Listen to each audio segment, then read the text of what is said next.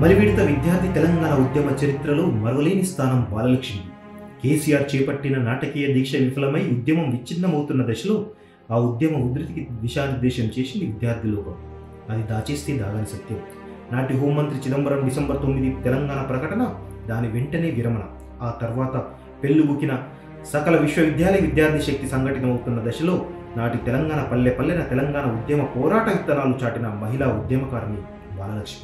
ఉత్తర దక్షిణ తెలంగాణ విద్యార్థి ఉద్యమ లాంగ్ మార్చ్ మొదలు దిల్సుఖ్ నగర్ బస్టాండ్ దగ్గర అగ్గై మండిన తెలంగాణ ఆత్మగౌరవం వేణుగోపాల్ రెడ్డి యాదయ్య మరణంతో దావనంలాయింది ఆ క్రమంలో పుట్టిన ఉద్యమ వాహిక బాలలక్ష్మి. తెలంగాణ మట్టిని ఆర్ట్స్ కళాశాల సాక్షిగా సత్యాగ్రహ ఉద్యమ ప్రకటన కావచ్చు తెలంగాణ అనంతరం కొనసాగిన ప్రజాస్వామిక తెలంగాణ కావచ్చు. దొరల కాల కింద బందీ అయిన తెలంగాణ ఇటువంటి సంక్షోభిత కాలంలో కాలోజీ టీవీ తెలంగాణ ఉస్మానియా విద్యార్థి జేఏసీ నాయకురాలు జనగామ జిల్లా సాధకురాలు బాలలక్ష్మితో కాలోజీ టీవీ ముఖాముఖి మీ ఉస్మానియా కిరటాలు కార్యక్రమం. నమస్తే వెల్కమ్ టు కాలోజీ టీవీ. చూశారు కదా తెలంగాణ ఉద్యమంలో కీలక పాత్ర పోషించినటువంటి ఉస్మానియా విద్యార్థి నాయకురాలైనటువంటి బాలలక్ష్మి గారి ఇంట్రొడక్షన్ అయితే మీరు విన్నారు కదా. ఆమెను అడిగి మరిన్ని అభిప్రాయాలు వారి భవిష్యత్ కార్యాచరణ తెలుసుకునే ప్రయత్నించిద్దాం ప్రస్తుత తెలంగాణ పరిస్థితులు ఎలా ఉన్నాయి? తెలంగాణ ఉద్యమ జ్ఞాపకాలు కొంత నెమరేసుకునేటువంటి ప్రయత్నం చేద్దాం. నమస్తే అక్క. నమస్తే. తెలంగాణ మారుమూల ప్రాంతం నుంచి వచ్చినటువంటి మీరు అసలు ఈ మీ నేపథ్యం ఏంటి? మీ కుటుంబ నేపథ్యం కావచ్చు మీ నేపథ్యం ఏంటి అసలు? మా కుటుంబ నేపథ్యం అంటే అత్యంత సాధారణమైనటువంటి మధ్యతరగతి కుటుంబం. మా నాన్న చదువుకోలేదు మేము గౌడ్స్. మా నాన్న తాడి చెట్లు ఎక్కడం ఎలక్ట్రీషియన్ వర్క్ చేసుకుంటూ చేసేది. మేము ఐదుగురం ఆడపిల్లలం. మా అమ్మ మాత్రం ఐదో తరగతి వరకు చదువుకుంది. తను ఐదో తరగతి వరకు చదువుకుంది. ఈరోజు యూనివర్సిటీ స్థాయి విద్యని అభ్యసించాలనేటువంటి ఒక తపన విద్య విద్యను అందుకోవడానికి విద్య యొక్క ప్రాముఖ్యతను తెలుసుకొని ఇంత దూరం రావడానికి ప్రధాన కారకులు మా తల్లిదండ్రులే. ఎందుకంటే మా అమ్మకేమో చదువుకుంది ఐదో తరగతి వరకే. ఆడపిల్ల కాబట్టి పక్కూరికి పంపించడం ఇష్టం లేక ఐదో తరగతి వాళ్ళ ఊర్లో ఉన్నంత వరకు చదివించి వదిలేసారు కాబట్టి మా పిల్లలు ఎక్కువ చదువుకోవాలనేది మా అమ్మ కోరిక. మా నాన్నకేమో చదువు రాకపోవడం వల్ల చదువుకోకపోవడం వల్ల ఏం నష్టపోయిండో తెలిసిండు కాబట్టి నాకు ఆడపిల్లలైనా సరే నేను చదివించాలనుకున్నాడు ఆయన. అందుకని ఐదుగురం ఆడపిల్లలం ఐదుగురిని చదివించిండు ఆయన. ఐదుగురిని చదివించిండు. అందరం గవర్నమెంట్లోనే చదువుకున్నాము. ఎక్కడ కూడా విద్యకు సంబంధించి మేము విద్యని కొనుక్కోలేదు. ఒక మాటలో చెప్పాలంటే మా తల్లిదండ్రుల నేపథ్యం నా కుటుంబ నేపథ్యంతో నేను విద్యని కొనుక్కోలేదు. చదువుకున్నాం అంతే. అటువంటి నేపథ్యం నా కుటుంబం అత్యంత సాధారణమైనటువంటి మధ్యతరగతి కుటుంబం. మా అమ్మ హౌస్ వైఫ్గానే ఉండేది. అందరం ఐదుగురం ఆడపిల్లలం కాబట్టి పిల్లల్ని చూసుకోవడానికే సరిపోయేది ఆమెకి. అట్లా ఉంటూ కూడా ఆమె చదువుకున్న ఐదో తరగతి వరకు చదువుకున్న జ్ఞానం వాళ్ళ నాన్నగారు కొంత ఊరి పెద్ద మనిషి అంటే కొంచెం పెద్దలుగా ఉండడం గ్రామాల్లో కొంచెం పెద్దరికంగా ఉండడం వల్ల ఆమెకు ఒక సా కొంత ఉన్న జ్ఞానాన్ని నాకు అందించింది. అంటే కొంత విలువలతో కూడినటువంటి జీవిత విధానాన్ని నాకు అందించింది ఆమె మా అమ్మ. ఇప్పుడు ప్రజెంట్ లేదు మూడు సంవత్సరాల క్రితం చనిపోయింది. ఒక విలువలతో కూడినటువంటి జీవితం మనం ఎలా ఉండాలి అంటే మా అమ్మ చెప్పిన వాటిల్లో నేను ఒక మాట చాలా స్పష్టంగా చెప్తాను. నిండుకుండలాగా తొనకకుండా ఉండాలి బిడ్డ. ధర్మం తప్పొద్దు. కృషి పట్టుదలతోటి ఏది చేసినా సాధించగలుగుతాం. దానికి ఆడ మగ తేడా లేదు. ఎప్పుడైతే మనం పట్టుదలతో సాధిస్తామో అది ఖచ్చితంగా అందుకుంటాము. ఇంకొక విషయం ఏంటంటే అధైర్యపడొద్దు. ధైర్యమే మనకు ముఖ్యమైంది. ఏది ఉన్నా లేకున్నా ధైర్యంగా ఉన్నాము అంటే దేనైనా సాధిస్తాం అనేటువంటి అడుగడుగున. అంటే నన్ను ఆమె పెంచుతున్న క్రమంలో ఒక్కొక్క దశలో ఒక్కొక్కసారి నాతో తను క్యాజువల్గా మాట్లాడుతున్న ప్రతి మాటని కూడా నేను ఇప్పుడు నెమరు వేసుకుంటుంటే తను అందించినవి నేను ఇలా నా వ్యక్తిత్వం నిర్మాణం అయింది దానికి సొసైటీ కూడా కొంత సొసైటీలో ఉన్న కొన్ని అంశాలని అర్థం చేసుకోవడానికి కూడా నాకు అవకాశం వచ్చింది. దాని తర్వాత విద్య విద్యను అభ్యసిస్తూ ఉన్నత విద్యను అభ్యసిస్తూ యూనివర్సిటీ స్థాయికి వచ్చే క్రమంలో మా గురువుల పాత్ర నా స్నేహితుల పాత్ర వివాహానికి ముందు వివాహం తర్వాత నా భర్త పాత్ర వీళ్ళ అందరి పాత్రలు కూడా దానికి తోడైనాయి. మీరు ఎన్నో వాళ్ళ ఇంట్లో?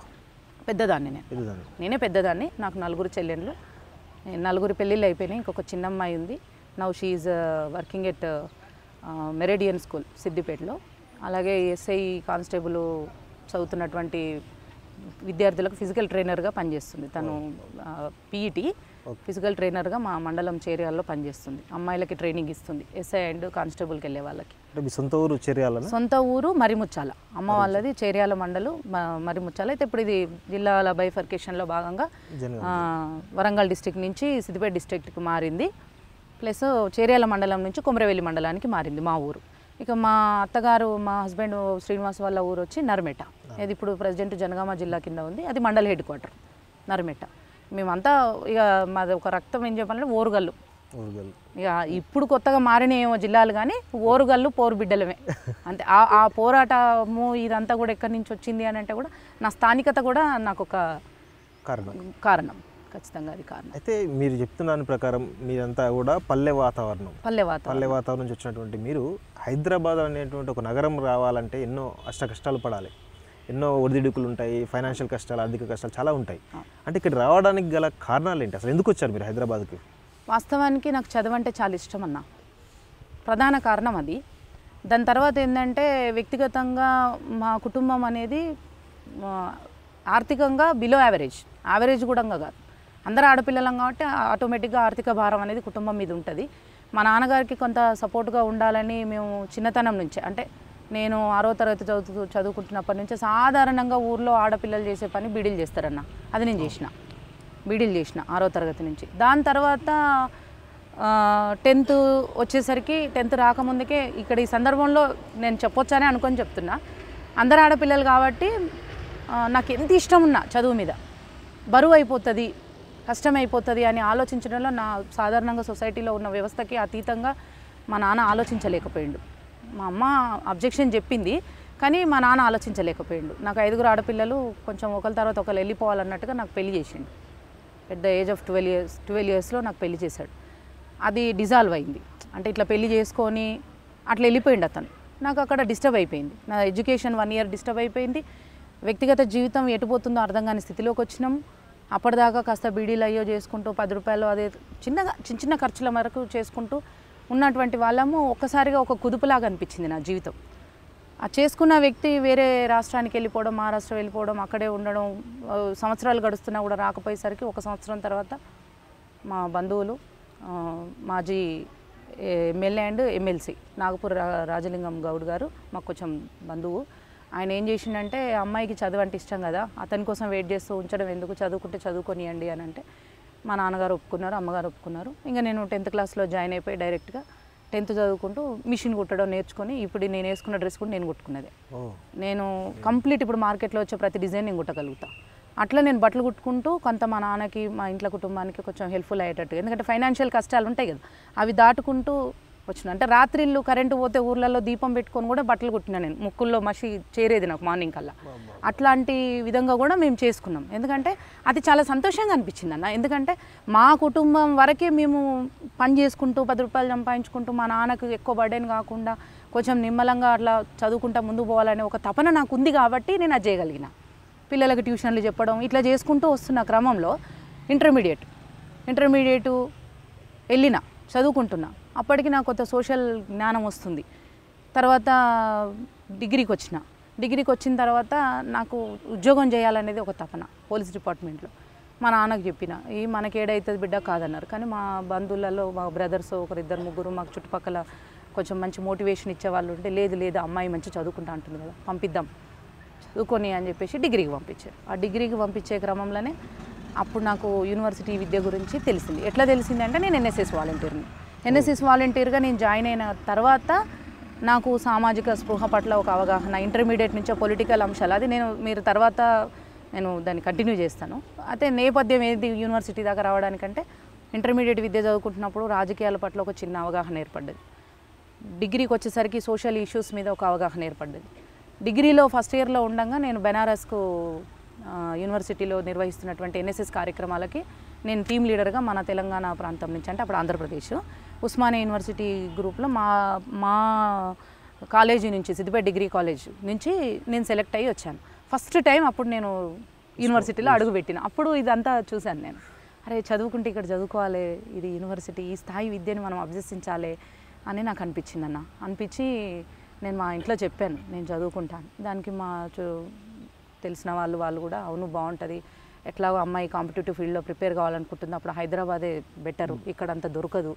అని చెప్పినప్పుడు నేను యూనివర్సిటీ విద్యని అభ్యసించాలనే తపనతో పాటుగా కాంపిటేటివ్ ఫీల్డ్కి నేను ప్రిపేర్ అవ్వడానికి ఇట్స్ బెటర్ ప్లేస్ అనేటువంటిది నేను డిసైడ్ అయ్యి అప్పుడు యూనివర్సిటీలో ఆర్ట్స్ కాలేజీలో ఎంఏ ఎకనామిక్స్ సంవత్సరంలో మీరు వచ్చింది? రెండు వేల మూడు అన్న. రెండు వేల మూడులో రెండు వేల మూడులో ఆర్ట్స్. కాలేజీలో నాకు ఎకనామిక్స్ సీట్ వచ్చింది. అప్పటి నుంచి నేను రెండు వేల నాలుగు రెండు వేల ఐదు వరకు కూడా సీరియస్గా సబ్ ఇన్స్పెక్టర్ ప్రిపేర్ అయినా. అదృష్టమో దురదృష్టమో పోస్టులు వల్లే. ఒక్కసారి పడ్డప్పుడు అప్పుడు నాకు ట్రైన్ ఫోర్లో పడ్డది నాకు అప్పటికి తెలియదు అప్పుడు మిస్ చేసుకున్నా. తర్వాత ప్రిపేర్ అయినా కానీ పోస్టులు లేవు. ఇక అట్లా నేను యూనివర్సిటీ స్థాయి విద్యని ఫస్ట్ డిగ్రీలో ఉన్నప్పుడు ఎప్పుడైతే ఎన్ఎస్ఎస్ వాలంటీర్గా వచ్చినో అప్పుడు నేను యూనివర్సిటీని చూసిన తర్వాత నా మనసులో ఆ కోరిక బలంగా నాటుకుపోయింది చదువుకోవాలని. మా పేరెంట్స్ కూడా సపోర్ట్ చేశారు నాకు. ఇక్కడికి వచ్చి కూడా నేను హోమ్ ట్యూషన్స్ చెప్పిన. ఇక్కడికి వచ్చి కూడా టైలర్ షాప్లలో బట్టలు కుట్టినాను నేను.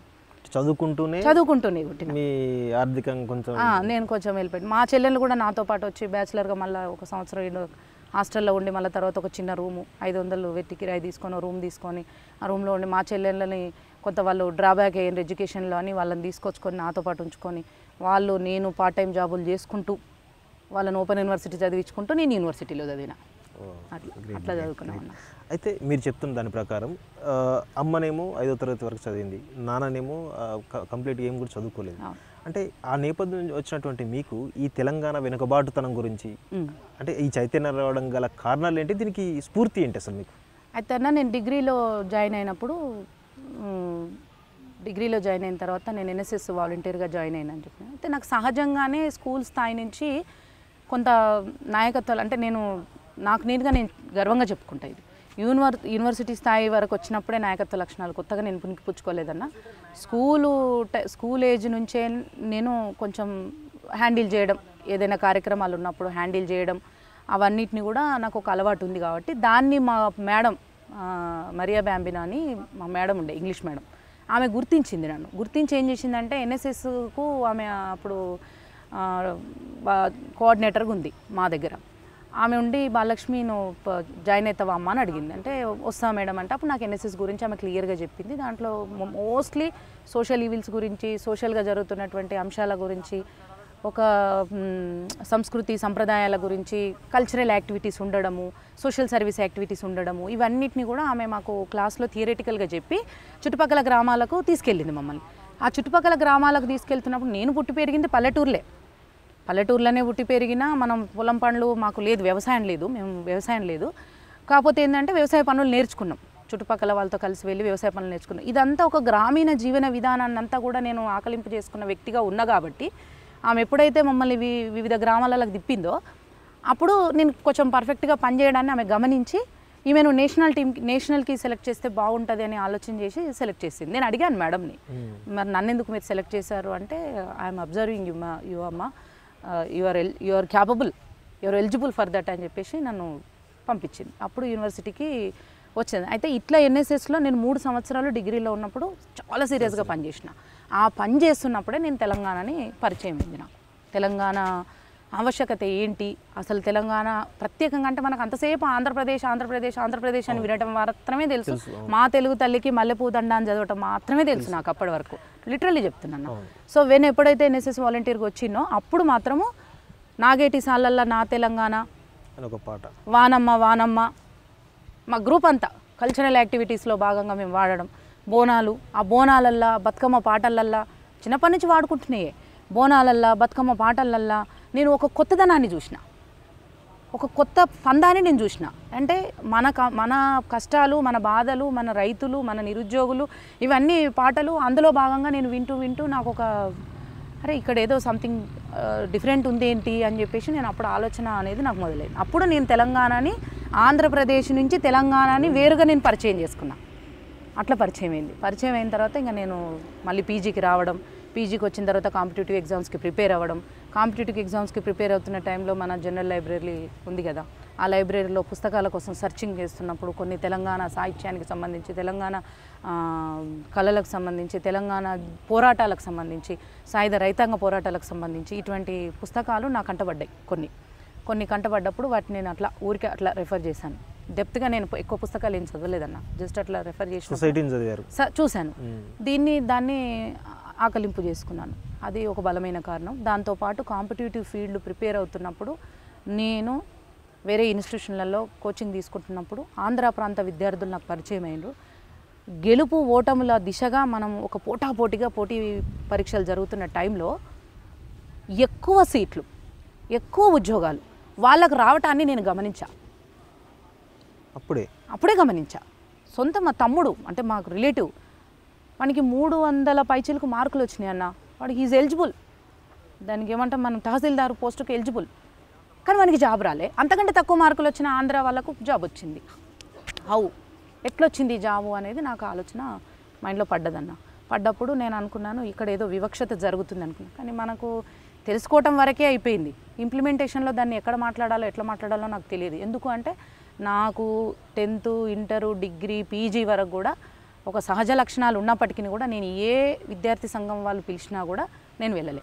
ఇంటర్మీడియట్లో ఎస్ఎఫ్ఐ వాళ్ళు అడిగిండ్రు డిగ్రీకి వచ్చినాక ఎస్ఎఫ్ఐ బీజేపీ బీజే మన ఏబీవీపీ వాళ్ళు అడిగిండ్రు ఇక్కడికి వచ్చిన తర్వాత ఏబీవీపీ వాళ్ళు అడిగిండ్రు ఎస్ఎఫ్ఐ వాళ్ళు రకాల పీడిఎస్సి వాళ్ళు అడిగిండ్రు you come and join with us అని చెప్పేసి మాట్లాడిండ్రు. బట్ ఐఎమ్ నాట్ ఇంట్రెస్టెడ్ ఎందుకంటే నాకు ఒకటే ఉంది గోల్ నేను జాబ్ సంపాదించాలి. నేను నాకు పెళ్ళి అయ్యి డిజాల్వ్ అయ్యి ఒక లక్ష్యంతో ముందుకు వచ్చిన దాన్ని. నాకు నలుగురు చెల్లెళ్ళు ఉన్నారు. మా అమ్మ నాన్న నా మీద ఎన్నో ఆశలు పెట్టుకొని నన్ను ఇక్కడ దాకా పంపించిండ్రు. వాళ్ళు కష్టపడి పంపిస్తున్నారు. అలాంటప్పుడు ఈ విద్యార్థులు ఉద్యమాలు నాయకులు ఇవన్నీ ఎందుకు నాకు ఇవన్నీ ఇప్పుడు ఇంత అవసరమా? నా కుటుంబానికి నేను చేసుకుంటే సరిపోతుంది కదా? నాకు ఇప్పుడు ఇంత అవసరమా అనేది నేను ఆలోచించిన. హండ్రెడ్ పర్సెంట్ ఆలోచించిన. ఆలోచించిన తర్వాత అప్పుడు తెలంగాణ పరిచయం అయిన తర్వాత అది లోపల మదన పడుతున్నా నేను. మరి నాకెక్కడ న్యాయం జరుగుతుంది? ఇంత అన్యాయం జరుగుతుంది కదా? మరి నాకు న్యాయం జరుగుతుందా? అనేటువంటి ఆలోచన విధానం కూడా నాకు వచ్చిందన్న. అట్లా నాకు తెలంగాణ నేపథ్యము తెలంగాణ కల్చరు తెలంగాణకు జరుగుతున్న అన్యాయాలు అడుగడుగున అంచెలంచెలుగా నేను తెలుసుకుంటున్నా.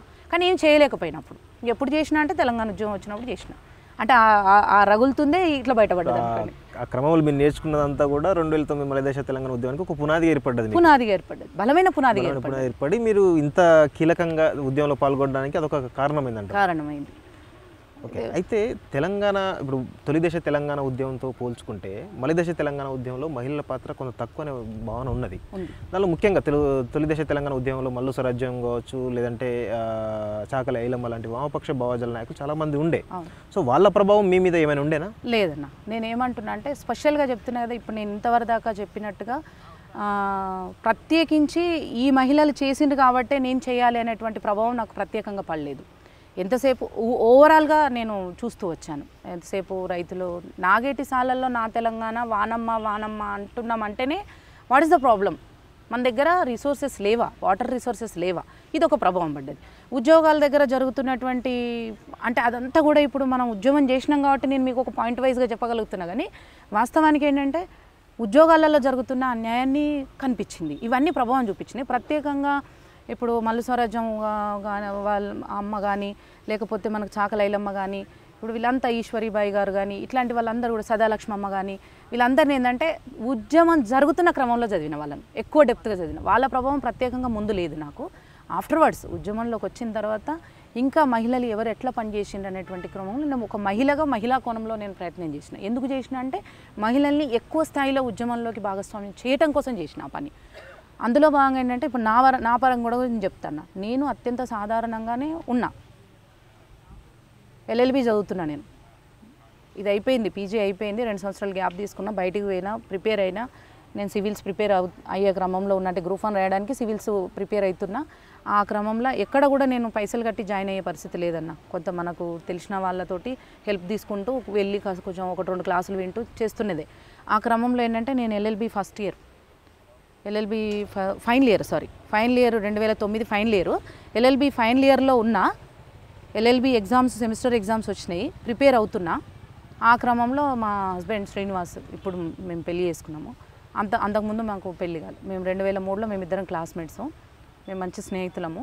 అతను ఒకసారి ఊర్లో అక్కడ సిద్దిపే మన బచ్చన్నపేటలో జాబ్ చేస్తున్నాడు. ఆయన ఒకసారి నాకు ఫోన్ చేసి మీరు ఏం చేస్తున్నారంటే ఇట్లా చదువుకుంటున్నా అంటే ముందు రోజు జరిగింది మన విద్యార్థి నాయకుల మీద దాడి జరిగింది. కేసీఆర్ అక్కడ దీక్ష చేయడం ఆయన అరెస్ట్ చేయడం తర్వాత ఇక్కడికి వచ్చి ఈడ విద్యార్థులంతా పాడే చేసుకొని చేయడం దానికి పోలీసులు దాడి చేయడం వాళ్ళ తలలు వగలటం ఇదంతా కూడా ఎంత నిజంగా I felt very shame that time ఎందుకంటే నేను రేపు ఎగ్జామ్ ఉంది కదా అనే కోణంలో రెండు రోజులు హాస్టల్ గోడలకే పరిమిత అయిపోయి రూమ్లోకి వెళ్ళి బయటికి రాకుండా ఆ రెండు రోజులు ఇవన్నీ జరిగినాయి.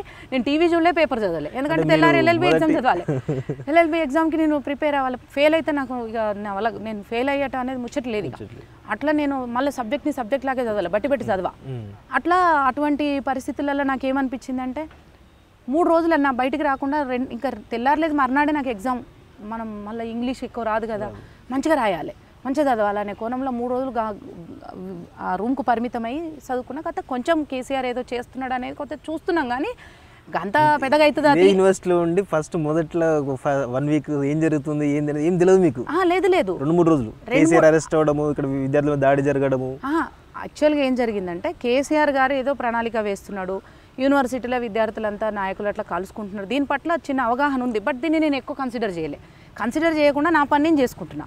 నా పని నేను చేసుకుంటున్న క్రమంలో ముందు రోజు మా విద్యార్థి నాయకుల మీద దాడి జరిగిన విషయాన్ని కూడా నేను గ్రహించలే. ముందు రోజు నైట్ జరిగినా కూడా నేను గ్రహించలే. నేను ఇంటికి రూమ్కి పరిమితం అయిపోయినా. తెల్లవారి పొద్దున ఆరు ఏడు గంటలప్పుడు తన నుంచి ఫోన్ వచ్చింది. మా హస్బెండ్ నుంచి ఫోన్ వచ్చింది నాకు. బాలలక్ష్మి బాలు అంటారు నన్ను. బాలు ఏం చేస్తున్నావు అంటే ఇట్లా ప్రిపేర్ అవుతున్నా అంటే ఏం ప్రిపేర్ అవుతున్నావు? ఆడ నెత్తులు వలుగుతుంటే అన్నాడు. ఇది ఎక్కడే మాట. నెత్తులు వలుగుతుంటే అన్నాడు. అరే నిన్న రెండు రోజుల కింద ఆర్ట్స్ కాలేజ్ కాడికి పోయినా నేను ఏం కనపడలే నాకు? నువ్వు నెత్తులు వలుగుతున్నాయి అంటావు. నిన్న అయ్యాలనే నేను రూమ్కి పరిమితం అయి చదువుకుంటున్నాను నెత్తులు వలుగుతున్నాయి అంటున్నావు ఏంటంటే ఏం చదువుతారు? రేపటి ఎగ్జామ్ కోసం సీరియస్గా ప్రిపేర్ అవుతున్నావు ఇంగ్లీష్ రాదని. కానీ అక్కడ ఏం జరుగుతుంది ఎరికేనా? కేసీఆర్ని అరెస్ట్ చేసిండ్రు. పిల్లలంతా ఇట్లా ఎత్తుకున్నారు మన వాళ్ళంతా ఇట్లా తలకాయలు వలుగుతున్నాయి నువ్వు టీవీ చూస్తలేవా? పేపర్ చదువుతలేవా? నిన్న ఇయ్యాలని అన్నాడు. నేను టీవీ చూడలే అన్న పేపర్ చదవలేనన్న. ఎంత రెండే రోజులు మళ్ళీ. అంటే ఏదో జరుగుతుంది బయట కేసీఆర్ సంథింగ్ ఏదో is is going to do something అనే వరకు మనకు ఐడియా ఉంది. కానీ అంత పెద్ద రాజకీయాన్ని ఇప్పుడు మనం ఏం ఆలోచిస్తాము? మనం రేపు ఎగ్జామ్. ఉన్నది కదా ఇది ఇంపార్టెంట్ కదా అనే కోణంలో నేను ఉండిపోయినా. ఆయన అట్లా అన్నాక నా మనసు చాలా చిపుక్కుమంది అన్న అరే ఇంత సోషల్ అవేర్నెస్ ఉండి ఇంత అది ఉండి నేను ఈ రెండు రోజులు బ్యాకప్ అయ్యి నేను ఎంత పని చేసినా అనిపించి అన్న అప్పుడు మూసిన బుక్కు. అప్పుడు మూసిన బుక్ ఇక మళ్ళీ తెరవలే అన్న నేను తెలంగాణ ఉద్యమంలో ఎంత సీరియస్గా పనిచేసిన అనేది ఇక అది లైవ్ అందరికీ తెలిసిందే. అప్పుడు ఎట్లా ఉన్నానో అట్లనే వచ్చినన్న. అట్లీస్ట్ నేను మొహం కడుక్కోలే. జస్ట్ ఇట్లా క్లిప్ పెట్టేసుకున్నా. మామూలు డ్రెస్లో ఉన్న స్లిప్పర్స్ ఉన్నాయి కాళ్ళకి అట్లనే వచ్చినన్న బయటికి. ఇప్పుడు హిందూ పేపర్లో అది అట్లనే ఉంది ఆల్రెడీ అది హిందూ పేపర్లో వచ్చింది అది నా ఫోటో అది. సేమ్ అట్లనే ఉంది. చింపిరి నెత్తి మామూలు డ్రెస్సు కాళ్ళకు మామూలు స్లిప్పర్స్ ఉన్నాయి. అట్లనే బయటకు వచ్చిన ఆర్ట్స్ కాలేజ్ కాడికి వచ్చిన ఈ నుంచి ఆడదాకా పెద్ద ర్యాలీ తీసిన మా అమ్మాయిలందరం కలిసి అంత అయిపోయింది. ఇగో ఇట్లా నేను ఆయన ఒక్క ఫోన్ కొట్టుడితోటి నేను తెలంగాణ ఉద్యమంలోకి దూకిన. నాకేం తెలియలే నాకు చేయాలనిపించింది వచ్చిన. అది ఎక్కడో ఒక ఒక దాన్ని ఏమంటాం ఇట్లా టర్న్ అయిపోయినా కంప్లీట్ ఇట్లా కంప్లీట్ టర్న్ అయిపోయినా. ఇంటికాంచి ఫోన్ వచ్చింది. టీవీలో చూస్తారు కదా ఆబ్వియస్లీ ఇంటికాంచి ఫోన్ వచ్చింది. మా అమ్మ అన్నది షబాష్ బిడ్డ అన్నదన్న. నేను హార్ట్లీ హార్ట్ఫుల్గా చెప్తాను నేను ఈ విషయం. మా అమ్మ షబాష్ బిడ్డ అన్నది.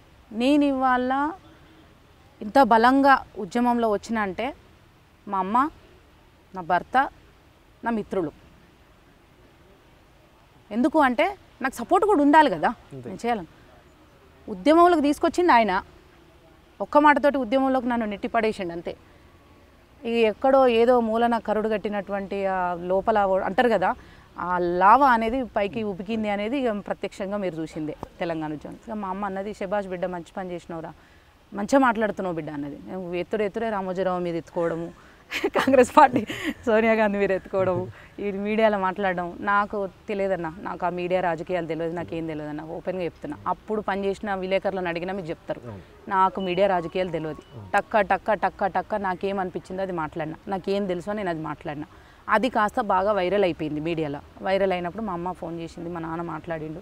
మా నాన్న భయపడ్డాడు. నువ్వు చదువుకొని ఉద్యోగం కోసం పోయిందని గా పని చేసుకోక గివన్నీ ఎందుకు బిడ్డ? ఆడ చచ్చిపోతురా శ్రీకాంత్. రెండు మూడు రోజులు శ్రీకాంతాచారి చనిపోయిండు.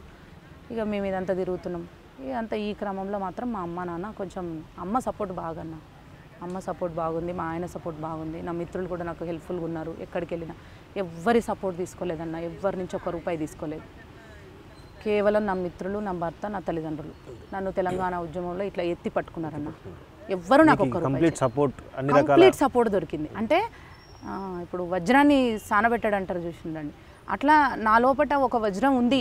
ఈమె ఈ సొసైటీకి ఉపయోగపడుతుంది అని గుర్తించి నన్ను సానబెట్టిన వాళ్ళు. వాళ్ళు వాస్తవంగా తెలంగాణ ఇప్పుడు తెలంగాణ కాదు భారతదేశంలో తీసుకుంటే స్త్రీలను అంత ఎంకరేజ్ చేయడానికి ఇంట్రెస్ట్ చూపరు.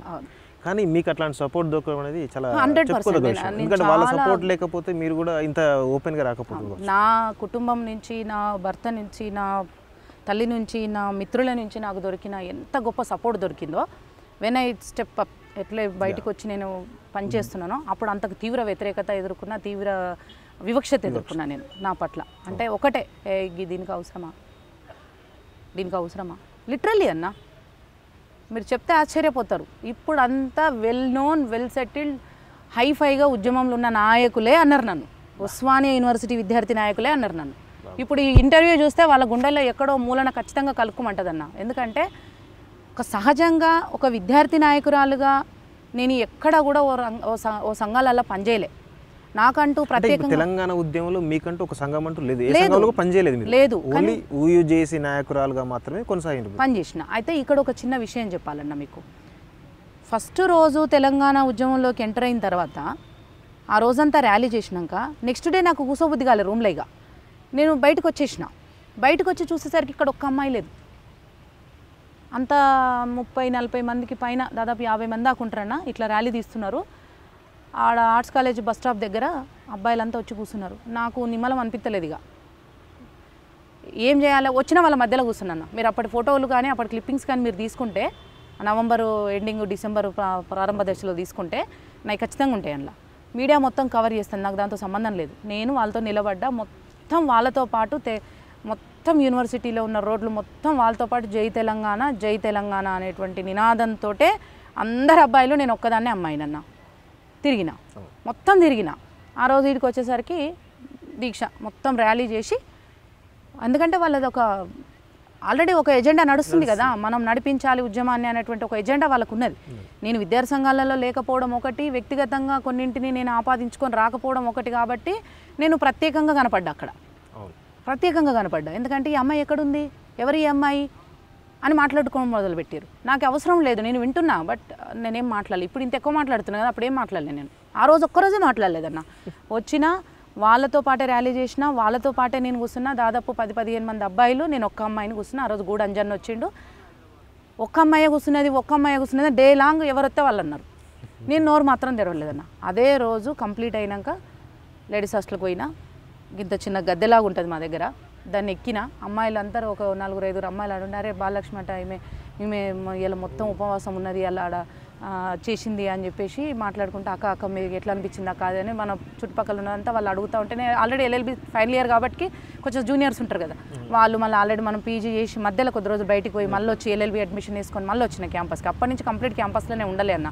నేను హాస్టల్ రెండే రెండు సంవత్సరాలు అనుభవించిన హాస్టల్ని పీజీ ఫస్ట్ ఇయర్ సెకండ్ ఇయర్లో కొంచెం అడపదడప తర్వాత ఎల్ఎల్బి ఫైనల్ ఇయర్. అంతే నేను హాస్టల్ ఫుడ్ తిన్నదంటే అంతే హాస్టల్లో ఎక్కువ యూటిలైజ్ చేసుకున్నది అంతే. ఎక్కువ యూజ్ చేసుకోలేదు కానీ బయటనే ఉన్నాను నేను మోస్ట్లీ. యూనివర్సిటీ విద్యను అభ్యసించుకున్నా. సో ఆ క్రమంలో నేను ఒక్కటే చెప్పిన. మనం మాట్లాడితేనే ఇవాళ మనం ఉద్యమంలో భాగస్వామ్యం అయితేనే రేపు తెలంగాణ రాష్ట్రం కనుక వస్తే మనం అడిగేటందుకు హక్కుదారులం అవుతాం. ఇవాళ మనం ఎవరం రాకుండా నిన్న ఒక్కరోజు ర్యాలీ చేసి వాళ్ళందరం మళ్ళీ ఎవరికాలు పుస్తకాలు పట్టుకొని కూర్చుంటే ఈ పుస్తకాలు పట్టుకొని కూర్చోవడం వల్ల వచ్చే ప్రయోజనం ఏంది? నా ఎక్స్పీరియన్స్ చెప్పినన్నా చదువుదాం. కానీ రేపు ఈ ఆంధ్రోల పాలనలో రేపు మనకు రావాల్సిన ఉద్యోగం పక్క ఆంధ్రోనికి వెళ్ళిపోతుంది. మన పరిస్థితి ఏంటి? ఇది ఆలోచించండి మిత్రులారా. దీన్ని ఆలోచించి మహిళలుగా మన హక్కును మనం సాధించుకుందామంటే రేపటి నుంచి మనం కూడా తీవ్రంగా ఉద్యమంలో పాల్గొనాలి. ఒక్కరోజు ర్యాలీ తీసి కాదు అని చెప్పేసి నేను మాట్లాడినా. ఈ మాటలు మాట్లాడిన తర్వాత తెల్లారి దాదాపు పన్నెండు మంది అమ్మాయిలు వచ్చారన్న. అందరినీ తీసుకొచ్చి ఇక్కడ మాలలేసి దీక్షలో కూర్చోబెట్టుకొని ఫస్ట్ టైం అమ్మాయిలు కాదు కూర్చోవడం. అదే ఫస్ట్ టైం ముందు రోజు నేను ఒక్కదాన్ని తెల్లారి వాళ్ళంతా. కూర్చోబెట్టి నేను అప్పుడు మైక్ పట్టుకొని పిడమర్తి రవన్న రాజారాం అన్న వీళ్ళందరూ ఉన్నారు. వాళ్ళందరి ముందు ఒకటే మాట అన్న. అన్న నన్ను నిన్న మీరు ఒక్కదాని వచ్చింది ఒక్కతే ఉంది ఒక్కతే ఉంది అనుకున్నారు కదా? నిన్న ఒక్కదాన్ని ఉన్నా కాబట్టి నేను ఏం మాట్లాడలేదన్న. ఇలా నా బలం కనబడుతుంది ఇక్కడ. నా బలం మీన్స్ మా అమ్మాయిల బలం. నా అంటే నా అని నేనేదో నేను మా వీళ్ళని ఆర్గనైజ్ చేసి తెచ్చినా అనేది కాదు. నా మీన్స్ మహిళలుగా మా బలాన్ని మేము చూపించుకోవాలి అనేటువంటి కోణంలో నేను మాట్లాడుతున్నా వీఆర్ రెడీ మీతో పాటు మేము తెలంగాణ ఉద్యమంలో పాల్గొనడానికి మేము రెడీ మీరు కమిటీలు వేస్తారా? ఏం చేస్తారా? మీరు చేయండి అన్న అని చెప్పి మైక్ బట్టి మాట్లాడిన. తర్వాత వాళ్ళతో పాటు కలిసి ఇక మినిస్టర్స్కి అది ఇక కార్యాచరణలో భాగంగా వెళ్ళిపోయినా. అయితే బాలలక్ష్మి అంటేనే ఉస్మానియా యూనివర్సిటీ జాక్ నాయకురాలు అని చెప్పేసి ఒక బలమైనటువంటి ఒక పేరు మీకైతే ఉంది తెలంగాణ సమాజంలో బాలలక్ష్మి అంటేనే ఓయి జాక్ అంటారు చాలా. ఒక ఒక మాటలో నా ఇంటి పేరుగా మారిపోయింది. ఓయి జాక్ నాయకురాలు బాలలక్ష్మి అంటారు అయితే ఓయూ జాక్ సంబంధించి ఈ జేఏసీ నిర్మాణం సంబంధించి పూర్వరంగం ఏమి ఏం జరిగిందో?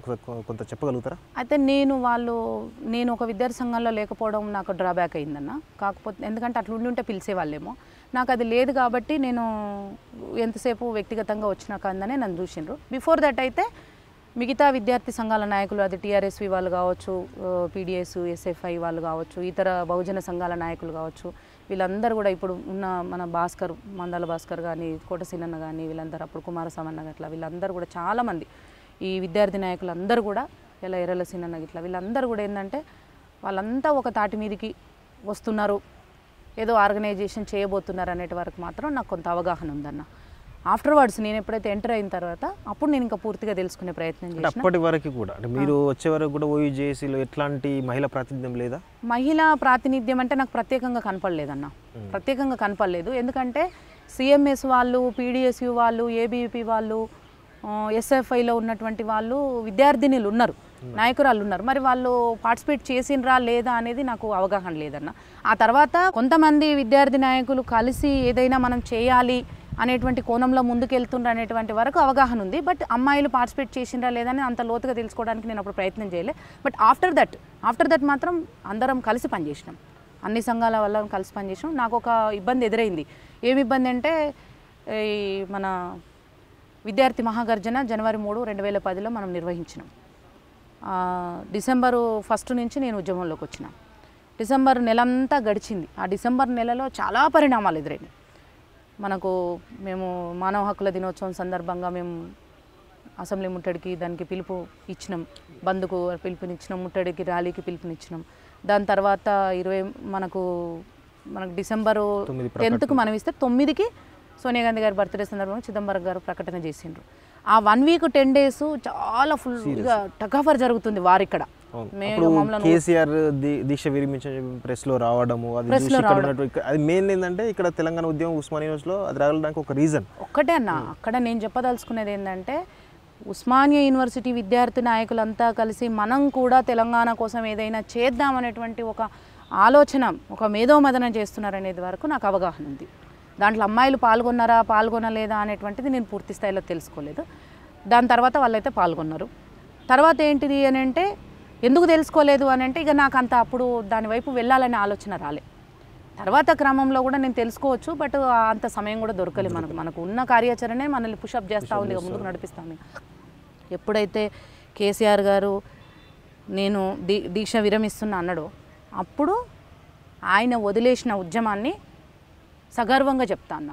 ఆయన వదిలేసిన ఉద్యమాన్ని మళ్ళొక్కసారి తెలంగాణకి ద్రోహం జరగొద్దు అని. విద్యార్థి నాయకులు తలకెత్తుకున్న మాట వందకు రెండు వందల శాతం నిజం. నిజం అది అంతే. వాస్తవమా నిజమా మనం ఇక దాన్ని డెఫినేషన్ ఇచ్చడానికి లేదు. అది చరిత్ర. అది చరిత్ర. చరిత్ర. అట్లా అట్లా వచ్చినప్పుడు అట్లా వచ్చినప్పుడు కేసీఆర్ గారిని వెనక్కి పోనీయకుండా కార్యోన్ముఖుని చేసింది కూడా మేమే అని నేను చెప్తా. రాజకీయ పరంగా. ఆయన పెద్దలు గౌరవించదగిన వాళ్ళు. ఎందుకంటే పరిపాలన విషయానికి వస్తే తర్వాత విమర్శిద్దాం. అదే నా అది ఇంకొక ఏజెండా బట్ ఆ క్షణానికి ఆయన వదలకుండాల్సింది. ఎందుకంటే మంత్రి రాజకీయ స్వలాభం కోసం నువ్వు టీఆర్ఎస్ పార్టీ పెట్టినవా? తెలంగాణ రాష్ట్ర సాధన కోసం టీఆర్ఎస్ పార్టీ పెట్టినవా? లేకపోతే తెలంగాణలో ఉన్న మేధావులందరినీ నువ్వు కలుపుకున్నావు కదా జయశంకర్ సార్ వీళ్ళు వాళ్ళు అందరినీ ఎక్కడెక్కడ ఉన్న మేధావులను కవులను కళాకారులు అందరినీ గుంజుకొని వాళ్ళందరి దగ్గర నుంచి అంత తీసేసుకొని అంత నాలెడ్జ్ సంపార్జించి నువ్వు గొప్ప చాణక్యుడి స్థాయిలో రాజనీతి పరిజ్ఞానాన్ని ఆ- ఆకలింపు చేసుకొని ఇలా ఒక గొప్ప రా రాజకీయవేత్తగా ఎదిగి ఇలా తెలంగాణ రాష్ట్రానికి ముఖ్యమంత్రిగా ఉన్నటువంటి కేసీఆర్ గారు ఆ రోజు అట్లా వదిలిపెట్టకుండా ఉండాల్సింది. ఎందుకు వదిలిపెట్టిండి ఈయన? వదిలిపెట్టడానికి గల కారణాలు ఏందనేది ఎవ్వరం ఆలోచించడానికి వీఆర్ నాట్ మేము సిద్ధంగా లేం. కావాల్సింది ఏంది? దీన్ని మళ్ళా మరో పంతొమ్మిది వందల అరవై తొమ్మిదో ఉద్యమం కాకూడదు అనేటువంటి బలోపేతమైనటువంటి నిర్ణయాలు తీసుకొని ఈ ఉద్యమాన్ని మళ్ళీ నిలబెట్టి దీనికి జవసత్వాలు పోసి మళ్ళీ ఈ కేసీఆర్తో సహా ఎవరెవరైతే పెద్ద తలకాయలు ఉన్నాయో వాళ్ళందరినీ కార్యోన్ముఖుల్ని చేయడానికి మేము పనిచేసినామని నేను సగర్వంగా చెప్పుకుంటున్నా. దాంట్లో నేను కూడా భాగస్వామిని. ఆ ఆ చర్చలు జరగడానికి ఇవే వేదికలు ఇదే జాగా అవే గడ్డ ఇదే గడ్డ ఇదే ఇవే చెట్లు ఇవే వీటికి ఇవి మౌన సాక్ష్యాలు ఇవాళ మాకు. మేము అంత మదన పడ్డాం. మా ఏజ్ ఏంటి? మా కుటుంబ నేపథ్యం ఏంటి? మా పరిస్థితులు ఏంటి? రేపటి మా భవిష్యత్తు ఏంటిది? ఏది ఆలోచించలేదు. జస్ట్ తెలంగాణ. చెయ్యాలి. తెలంగాణ ఉద్యమం చేయాలి. ర్యాలీ తీసుకుంటా పోయినామా? మేము ఏ ప- బంధులు ఇచ్చినామా? ఏమి ఇచ్చినామా? ఆ వారం రోజులు సీరియస్గా చేసినామన్న. పదో తారీఖు ప్రకటన ఇచ్చినాము.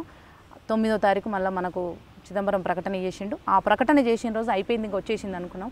ఇక శక్తులు అడ్డుపడ్డాయి ఆంధ్ర శక్తులు అడ్డుపడ్డాయి. దాని తర్వాత అది వెనక్కి పోయింది. వెనక్కి పోయిన తర్వాత డిసెంబర్లో ఇరవై మూడు ఇరవై నాలుగు ఆ టైంలలో పొలిటికల్ జేఏసీని ఏర్పాటు చేయాలన్నప్పుడు Osmania university joint action committee నుంచి నేను ఒక డెలిగేట్గా గోల్కొండ హోటల్కి వెళ్ళిన. అక్కడ నేను పిడమర్తి రావన్న మేము అందరం కలిసి వెళ్ళినాము. మన వంగపల్లి సిన్న ఇట్లా మేమంతా వెళ్ళినాము. అక్కడ నా వంతుగా నేను కూడా వాయిస్ వినిపించిన. వినిపించినప్పుడు కేసీఆర్ గారు ఒక మాట అన్నారు. అమ్మ మీకు ఎందుకు మీరు చదువుకోవడానికి గ్రామీణ నేపథ్యం నుంచి వచ్చిన పిల్లలు మీరంతా కూడా మా మధ్యతరగతి కుటుంబాలకు చెందినటువంటి వాళ్ళు చదువుకొని ఉద్యోగాలు సంపాదించుకోవాల్సిన వాళ్ళు మీకెందుకు ఈ ఉద్యమాలు? మేము ఉన్నాం పెద్దవాళ్ళం మేము చూసుకుంటాం. అంటే సార్ మీరు చేసి లిటరల్గా అన్న నేను. మీరు చేసేటివి మీరు చేయండి సార్. తెలంగాణ యువరక్తంగా మా బాధ్యత మేము నిర్వర్తిస్తాం సార్. మా కెరియర్లని స్పాయిల్ చేసుకోకుండా మేము ఎంత చేయాలో గంట చేస్తాము.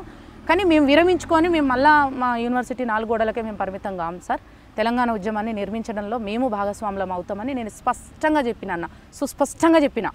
కేసీఆర్ గారికి ఇట్లా ఎదురెదురుగానే ఇప్పుడు మీరు నేను ఎట్లా ఉన్నానో అట్లనే నిలబడి చెప్పిన. వాళ్ళు యాజ్ యువర్ విషయమ్మ మీరు ఎట్లా ఉంటే అట్లా చేయండి అన్నారు. వచ్చినాం నేను కోదండరామ్ సార్ని పెట్టుకొని వాళ్ళు చేసి ఏర్పాటు చేసుకున్నారు. తర్వాత మళ్ళీ జనవరి మూడు విద్యార్థి మహాగర్జనకు జస్ట్గా గడ్డ మీద కూర్చొని పిలిపినిచ్చినామన్నా మేము యూనివర్సిటీ గేటు దాటి బయటికి పోయి ఒక ప్రెస్ మీట్ పెట్టలే ఒక ఊర్లో అడుగు పెట్టలే ఒక కాలేజీలో అడుగు పెట్టలే. జస్ట్ అక్కడ నిలబడి మేము ప్రకటన ఇచ్చినామన్న. ఇక అది ఎంత పెద్దగా జరిగింది ఆ మీటింగు దాన్ని ప్రిసీడింగ్ చేసింది నేను ప్రారంభించింది నేను. చెగువేర పలుకులతో నేనంటే చెగువేర స్ఫూర్తితో ఉన్నదాన్ని కాబట్టి చెగువేర పలుకులతోటి నేను ఉద్యమ మీటింగ్ని ప్రారంభించిన. అది అయిన తర్వాత మా విద్యార్థి నాయకుల్లో కొందరికి నా మీద అక్కసు పుట్టిందన్న. పుట్టి ఈ అమ్మాయిని డిమోరల్ చేయాలి కొంచెం పక్కకు తప్పియాలని చెప్పేసి కుట్రలు జరిగినాయి. అది జరుగుతున్న క్రమంలోనే నాకు తెలియకుండా ఫ్యాకల్టీ క్లబ్లో మీటింగ్ పెట్టుకున్నారు. ఇన్ఫర్మేషన్ వచ్చింది. నేను పోయినా. సాంబశివ గౌడ్ అని ఉన్నాడు. సాంబశివ గౌడ్ అన్న వచ్చి నన్ను తీసుకొని వెళ్ళిండు. నేను వెళ్ళిన తర్వాత అడిగాను. ఏంటన్నా మరి మీరంతా కూర్చున్నాం నన్ను కూడా పిలవాలి కదా?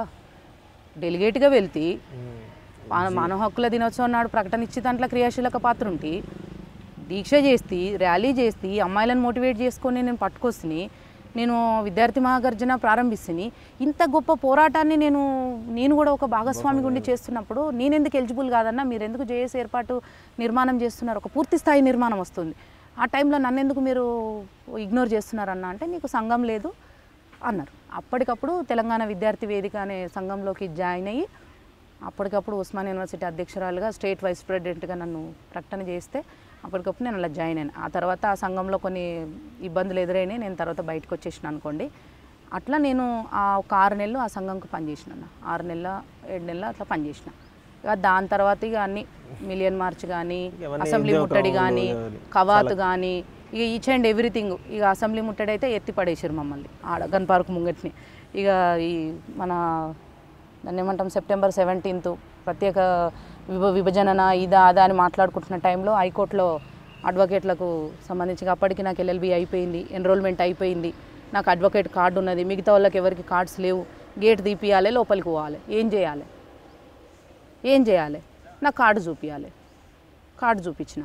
కార్డు చూపించిన ఎన్రోల్మెంట్ కార్డు చూపిస్తే గేట్ ఓపెన్ చేసిండు కానిస్టేబుల్. గేట్ ఓపెన్ చేయగానే పొలోమ లోపలికి జడ్చుకొని పోయినాం అందరం. అవన్నీ ఉన్నాయి వీడియో క్లిప్పింగ్స్. అట్లా ఒక సిఐ లేడీ మేము ఇక జై తెలంగాణ జై తెలంగాణ అనుకుంటా పోతుంటే నన్ను ఇట్లా పట్టుకొని లాక్కొస్తారన్న. నేను మీకు ఆ ఫోటోలు పంపిస్తాను నేను. ఇట్లా పట్టుకొని లాక్కొస్తా ఉన్నారు. ఇది ఒకటిది కోతుంది బ్యాగ్ ఒకటి కోతుంది మేము ఒకటి కోతాను అంత గుంజుకు వచ్చింది ఆమె. ఈ ఈ ఈ ఈ అమ్మాయే ఇదంతా చేసింది. అసలు గేట్ ఓపెన్ చేయకుండా ఆపుదాము అడ్వకేట్లకి మా కోసం వాళ్ళు వచ్చినప్పుడు మేము వాళ్ళ కోసం పోవద్దా అన్న. గేట్లని గిట్లా తన్నుకొని వచ్చిర్రన్న వాళ్ళు. డిసెంబర్ సెవెంత్ రెండు వేల తొమ్మిది గేట్లను గిట్లా తన్నుకొని వచ్చిర్రు అడ్వకేట్లు. జర్నలిస్టులు అన్న తలకాయలు వలిగినాయి అన్న రక్తాలు ఆరుతుంటే సీన్ అన్నకు క్రాంతన్నకు ఎంతమంది అన్న మాకు ఉపేందర్ అన్న మా వాళ్ళు అసలు పరంధాములు అసలు ఏందన్న నాకు ఇప్పుడు దుఃఖం వస్తుందన్న మా అన్నలు అసలు వాళ్ళ ఈపులు సీనన్న ఈపు వలిగితేనా నేను ఏడ్చినన్నా? అట్లా తనుకొని వచ్చారు అడ్వకేట్లు. అసలు ఎట్లా అంటే గిట్లా గిట్లా గిట్లా ఒక తల్లి కోడి గద్దోసే పిల్లని ఇట్లా కాపాడుకున్నట్టు నేను నిజంగా చెప్తున్నా మీడియా వాళ్ళు మాకు ఆడపిల్లల అవసరాలు గుర్తించి వాళ్ళ లేడీ రిపోర్టర్ల కార్డులు మాకేసి మాస్కులు కట్టించుకొని బయటికి తీసుకుపోయి మా అవసరాలు తీర్చుకొచ్చారన్న. ఆడపిల్లల అవసరం. నేను గుర్తు చేసుకుంటాను. ఎందుకంటే ఇది చరిత్ర అన్న. దీన్ని కనుమరుగు చేసి అలా ఎవరెవరో రాజ్యం వెళ్తురంటే మాకు దుఃఖం ఉంటుంది. ఎందుకంటే మా అడ్వకేట్లు మా అన్నలు మా అక్కలు మా రిపోర్టర్లు మా కళాకారులు ఇలా గోడలు దుంకొచ్చిరన్న. ఈ గోడలు ఇట్లా దుంకి ఇడ్లీలు పొట్లాలు పట్టుకొచ్చి సమోసాలు పొట్లాలు పట్టుకొచ్చి మాకు పెట్టిరన్న. అట్లాంటి వాళ్ళ కాడికి మేము పోవద్దా మేము పోవాలి.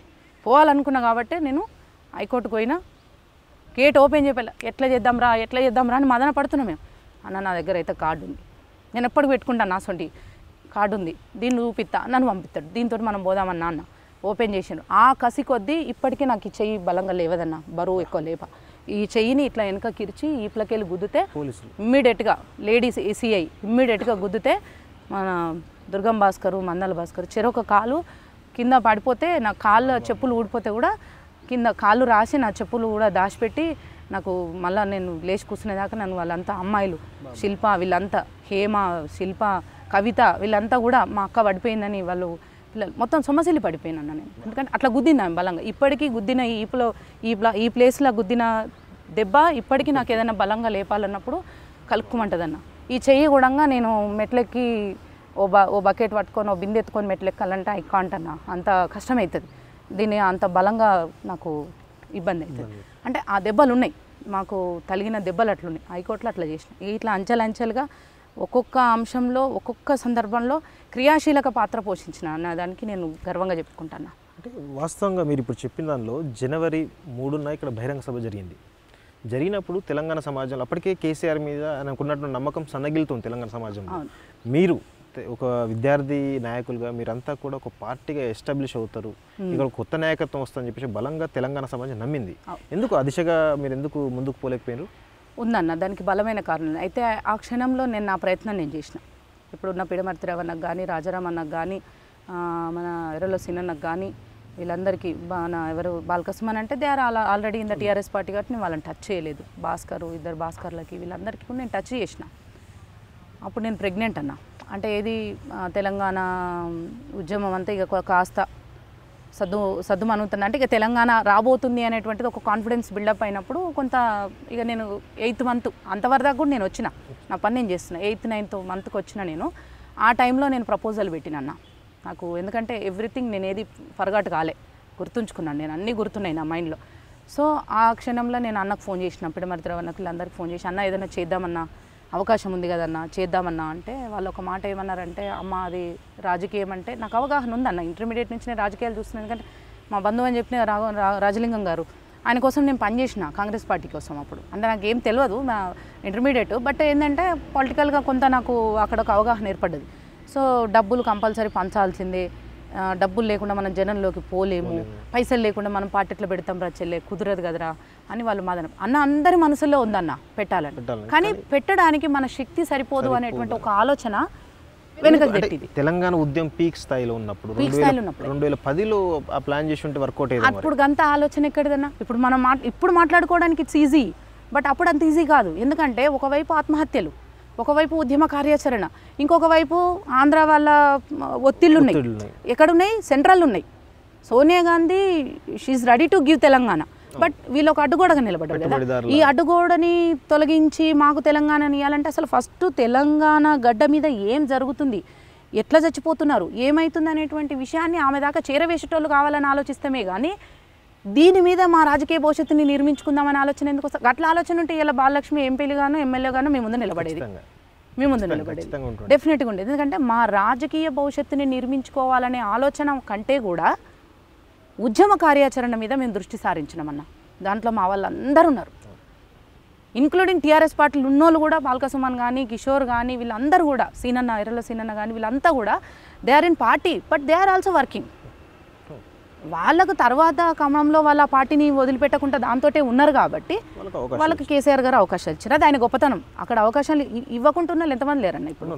సో ఆయన అక్కడ వాళ్ళకి అవకాశాలు ఇచ్చింది కానీ మేము ఒక మాటలో చెప్పాలంటే ఉద్యమ కార్యాచరణ ఉద్యమాన్ని ముందుకు తీసుకెళ్ళడం మన లక్ష్యమైనటువంటి తెలంగాణను సాధించడం అనే దృష్టి సారించినాం. రెండు వేల పది పదకొండు అంతా కూడా. పన్నెండు దాటి పదమూడు వచ్చేటప్పటికి కొన్ని ఆలోచనలు వచ్చినాయి.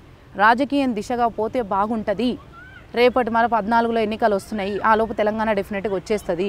సో అప్పుడు మనం ఉద్యమకారులుగా ఉన్న మనం రాజకీయ నాయకులుగా ఎదిగితే ఈ అనుభవం అంతా కూడా రేపు మనకు పరిపాలనలో ఉపయోగపడితే తెలంగాణ సమాజానికి మనం కొంత ఏమైనా చేసిన వాళ్ళం అవుతామనే ఆలోచన నాకు తట్టి నేను ఎయిత్ నైన్త్ మంత్లో ఇక కంప్లీట్ ఇంటికి పరిమితమైన లాస్ట్ వన్ టూ మంత్స్లో అప్పుడు నేను వీళ్ళందరికీ ఫోన్లు చేసి అన్న మరి ఏమైనా చేద్దామంటే వాస్తవానికి అందరి మనసుల్లో ఉంది. పార్టీలు ఉన్న వాళ్ళని పక్కకు పెడితే కాంగ్రెస్ బీజేపీ టీఆర్ఎస్లో ఉన్నటువంటి వాళ్ళని పక్కకు పెడితే న్యూట్రల్గా ఉన్నాం అలాంటి వాళ్ళ అన్న కూడా అప్పుడు బీఎస్పీ పార్టీకి సంబంధించిన పేమర్తరావు అన్న ఇట్లా మేము అంతా కూడా ఏమైనా చేద్దామన్నా ఏమైనా చేద్దామన్నా అంటే చెల్లే నీ తపన కరెక్టేరా కానీ మనకు డబ్బు సరిపోదు నేను ఒక మాట అన్నా అప్పుడు. జోలు వేసుకుందామన్నా జోలు వేసుకుందాం. తెలంగాణలో నాలుగు కోట్ల మంది అని మనం చెప్తున్నాం. ఒక్కొక్కరి దగ్గరికి పోయి ఒక గడపకు పోయి ఇంట్లో నలుగురు ఉంటారు కదా ఒక్కొక్క రూపాయి నాలుగు రూపాయలు ఇమ్మందాం అన్న ఒక్కొక్క రూపాయి ఇమ్మందాం తెలంగాణ నాలుగు చెరుగుల నుంచి తెలంగాణ నలు దిశల నుంచి యూనివర్సిటీ వేదికగా మనం పనిచేస్తున్నాం. ఈ ఒక్క ఉస్మానియానేనా కాకతీయ లేదా శాతవాహన లేదా తెలంగాణ లేదా పాలమూరు లేదా సెంట్రల్ యూనివర్సిటీ లేదా పక్కనున్న ఇఫ్లు లేదా?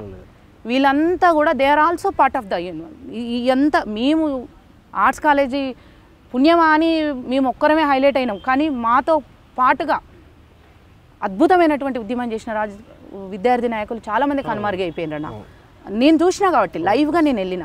ప్రతి యూనివర్సిటీకి వెళ్ళినన్న ప్రతి జిల్లాకి వెళ్ళినన్న ప్రతి జిల్లా హెడ్ క్వార్టర్కి వెళ్ళిన మారు మూల తండాలలో కూడా నేను వెళ్ళినన్న. దాదాపు ఐదు వందల పై చిలుకు మీటింగ్స్లో నేను పార్టిసిపేట్ చేసిన టీవీ డిబేట్స్తో సహా ప్రతి మూల మారుమూల అక్కడ భద్రాచలం దాకా పోయినా ఇటు జడ్చెర్ల దాకా పోయినా అచ్చంపేట దాకా పోయినా ఇటు కూడా పోయినా నేను. జఫర్గఢ్ అవంతా కూడా ఇటు కూడా పోయినా. అటు మెదక్ పోయినా చర్చి మెదక్ చర్చి దాటిపోయినా అటు నిజామాబాద్ రుద్రారం అవన్నీ అటు అక్కడ అంత దూరం పోయినా నేను. గోదావరి కని పోయినా. ఈ గోదావరి కనిలో నా శిలాపలకం మీద నా పేరు కూడా ఉంటుంది. గోదావరి కని అనుకుంటా. అది ఆదిలాబాద్ జిల్లాలో ఉంటుంది గోదావరి కనిలో ఉంటుంది. ప్రతి చోట పనిచేసినామన్న ఇట్లా చేసిన కాబట్టి నాకు ఒక కాన్ఫిడెన్స్ వచ్చింది. అన్న జోలే పట్టుకుందాం ఏ ప్రాంత విద్యార్థి ఉన్నాడో ఆ ప్రాంతానికి పరిమితం అయిపోయి జోలే పట్టుకుందాం అవా మేము ఈ పని చేస్తాను ముందుకు వస్తున్నాం మమ్మల్ని ఆశీర్వదించండి. మేమంతా మీ బిడ్డలమే. ఆస్తిపరులం కాదు. అప్పర్ క్యాస్ట్లో ఒకరిద్దరు తప్ప మిగతా వాళ్ళంతా నిమ్న కులాలకు సంబంధించిన వాళ్ళు. ఈ కుల వ్యవస్థ మీద కూడా నేను మీరు ప్రత్యేకంగా ఇంటర్వ్యూ ఇస్తే నేను చేస్తాను కుల వ్యవస్థ మీద దుర్మార్గమైన జరుగుతుంది కాబట్టి. సో మేమందరం కూడా జోల పట్టుకొని పోతే ఒక్కొక్కరు ఒక్క రూపాయి. ఇంట్లో నలుగురు ఇద్దరు భార్య భర్త ఇద్దరు పిల్లలు ఉన్నారంటే ఒక్కొక్క రూపాయి మందం. అన్న కనీసం కోటి రూపాయలు జమ కావా అన్న అన్న నేను నాలుగు కోట్ల మందిలా. వన్ బై ఫోర్త్ అన్న జమ కావా అన్న అని నేను అడిగిన. అన్న మీరు అడగండి ఒకసారి పిడిమర్తిరావని అని చెల్లి ఈ మాట అన్నదా లేదా మీతో ఒకసారి అడగండి. నేను ఈ మాట అన్నా నేను రాజారాం అన్నతో అన్నా పిడమర్తి రవన్నతో అన్నా భాస్కర్లతో అన్నా వాళ్ళు భాస్కర్లను ఇంటికి ఇంటికి పిలిపించుకొని మరీ మాట్లాడినా నేను. నేను రాలేని పరిస్థితి కాబట్టి. వచ్చిండ్రు నా మిత్రులే కాబట్టి వచ్చిండ్రు. మాట్లాడినాం తినుకుంటూ ఓ లంచ్ చేసుకుంటా కూర్చుంటూ కూడా మేము రాజకీయాలు మాట్లాడుకున్నాం. మాకు అదే అన్న మా తిండి మా నీళ్ళు మా నిద్ర మా ఆహ మా ఆహారం పీల్చే గాలి కూడా తెలంగాణ అన్న మాకు. అది తప్ప ఇంకొకటి లేకుండా బతికినాం. కాబట్టి ఇలా మేము ఈ మాత్రంగా ఇట్లనే మిగిలినాం.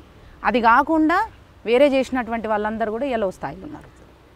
సో అప్పుడు మాకు ఉండే పార్టీ పెట్టాలని ఉండే చేయాలని ఉండే కానీ చేయడానికి ఏవేవైతే ఉన్నాయో.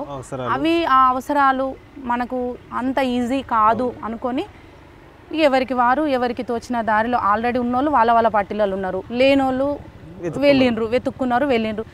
ఇక ఎక్కడోళ్ళు అక్కడ పోయినాక ఏం మిగులుతుంది అన్న ముళ్ళు ఇప్పినాం మేము. అంతే. అయిపోయింది. మోపు ఇప్పినాం మేము. పుల్ల మనిషికో దిక్కుపోయింది ఇంకేం బలం ఉంటుంది అన్న ఇక అట్లా బలం లేదు ఇక. సో అయితే రెండు వేల తొమ్మిది నుండి రెండు వేల పద్నాలుగు వరకు జేఏసీలో కీలకంగా పనిచేస్తున్న టైంలో మీ సహచర విద్యార్థి ఉద్యమకారుల నుంచి మీకు ఎట్లాంటి సపోర్ట్ ఉండేది? వాళ్ళు ఎలా రిసీవ్ చేసుకునే వాళ్ళు అయితే ఫస్ట్ ప్రారంభంలో అయితే పెద్దగా ఎవరేం అనలేదన్న. వారం పది రోజులు అంటే పదిహేను ఇరవై రోజులు అనుకోండి. అంటే మనకు పొలిటికల్ జేఏసీకి డెలిగేషన్గా విద్యార్థి గర్జనకు వచ్చేంత వరకు దాకా కూడా పెద్దగా నాకు ఇబ్బందులు ఎదురుగాలే. అంటే చేసేద్దాం ఉడుకు రక్తం కదా ఉరికి ఉరికిపోతున్నాం ఇక అంతే ఇక. అంత మేరకే పనిచేస్తున్నాం అప్పుడు నాకు పెద్దగా ఇబ్బంది కాలే. ఎప్పుడైతే జేఏసీని మళ్ళా దాన్ని పటిష్టంగా నిర్మించాలన్నప్పుడు ఒక రెండు మూడు వ్యతిరేకతలు ఎదురైనాయి. ఏంటిది? అమ్మాయికి సంఘం లేదు. అదొకటి. రెండవది ఈ అమ్మాయి ఎక్కడి నుంచి వచ్చింది? ఈ అమ్మాయి నేపథ్యం ఏంటి? అనేది. అంటే సహజంగానే విద్యార్థి సంఘాలలో ఉన్నటువంటి కొంతమంది అందరు కాదు మళ్ళీ. ఎందుకంటే వాళ్ళు ఇబ్బంది పడతారు. ఎందుకంటే నాకు అత్యంత ఆత్మీయంగా ఉన్న వాళ్ళు ఉన్నారు. ఏబీయూపీ నుంచి ఉన్నారు ఎస్ఎఫ్ఐ నుంచి ఉన్నారు పీడిఎస్ నుంచి ఉన్నారు. మిగతా వామపక్షాలతో పాటుగా మళ్ళీ మిగతా బహుజన సంఘాలు పూలి అంబేద్కర్ సంఘాల నుంచి ఉన్న వాళ్ళంతా కూడా నా ఆత్మీయులు ఉన్నారు. నేను వాళ్ళని ఇబ్బంది పెట్టాను కదా. కొంతమంది వ్యక్తులు అందులో అమ్మాయిలు ఉన్నారు అబ్బాయిలు ఉన్నారు. వాళ్ళు ఏం చేశారంటే ఈ అమ్మాయి వాయిస్ ఈ అమ్మాయి వ్యక్తిత్వము ఈ అమ్మాయి యాటిట్యూడ్ అంటే నా బాడీ లాంగ్వేజ్ని కూడా వాళ్ళు ఫైండ్ అవుట్ చేశాను సంథింగ్ ఈజ్ ఏదో మా ఈమె రేపటి రోజున తెల- Aggressive గా ఉస్మానియా యూనివర్సిటీ వాళ్ళు ఒకటే ఆలోచించారన్న. ఉస్మానియా యూనివర్సిటీలో ఎప్పటి నుంచో విద్యార్థి నాయకత్వము విద్యార్థి ఉద్యమాలన్నిటికీ ఒక వేదిక.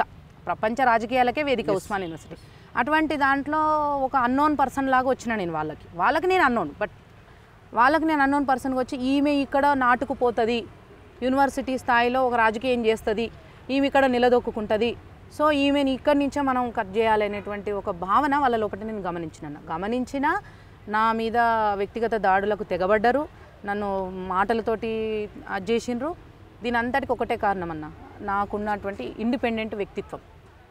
నేను ఎవరికి బాండ్ అవ్వకుండా ఇండిపెండెంట్గా ఉండడమే ప్రధాన కారణం. రెండోది చెప్పాలనుకున్నది సూటిగా స్పష్టంగా స్టిల్ టుడే అట్లనే చెప్తాను నేను ఈ ఊపిరి ఉన్నంత వరకు అట్లే చెప్తా. ఆ కేసీఆర్ దగ్గరైనా అదే చెప్తా మొన్న రాహుల్ గాంధీ గారికి కూడా నేను అదే చెప్పిన హరిత హోటల్లో. సూటిగా స్పష్టంగా చెప్పడమే నా నైజం. ఏదైతే అవసరం అనుకున్నానో అదే మాట్లాడతా. సో దా అది వాళ్ళకి నచ్చలేదన్న. నచ్చక లిటరలీ లైవ్గా ముఖం మీదనే అనేసిండ్రు. ఈమెకు పా అది లేదు సంఘం లేదు. అయినా ఇంత పర్ఫెక్ట్గా ఎట్లా చేస్తుంది? ఈమె బ్యాక్గ్రౌండ్ ఏంటి? నన్ను ఒక నక్సలేట్గా చిత్రీకరించే ప్రయత్నం చేయడం దాన్ని పోలీస్ డిపార్ట్మెంట్కి ఇన్ఫర్మేషన్ ఇవ్వడం వాళ్ళు మిగతా విద్యార్థి నాయకులను అడగడం గురం సీతారామ సీతారాములు అన్న వాళ్ళందరూ మన కోటన్న వీళ్ళందరూ కూడా ఆ అమ్మాయి ఒక సాధారణ మధ్యతరగతి కుటుంబం ఐదుగురు ఆడపిల్లలు చదువుకోనికి వచ్చింది దీనికి కాంపిటేటివ్ ఫీల్డ్కి. తెలంగాణ ఉద్యమం ఇంత గొప్పగా జరుగుతున్నప్పుడు ఆమె వాళ్ళ తల్లిదండ్రులు ఆమె మిత్రులు వాళ్ళ సపోర్ట్ తోటి ఇలా కొంచెం ఆమెకున్న సోషల్ నాలెడ్జ్ తోటి పని చేయడానికి వచ్చింది. కానీ నక్సలెట్ ఏంది భయ నక్సలెట్. పోరి ఇంటికి పోయి ఆమె ఆమె ఎంక్వైరీ చేయరు ఆమె ఇంటికి పోయి ఎంక్వైరీ చేయాలంటే ఆ ఎంక్వైరీలు కూడా అయినాయి.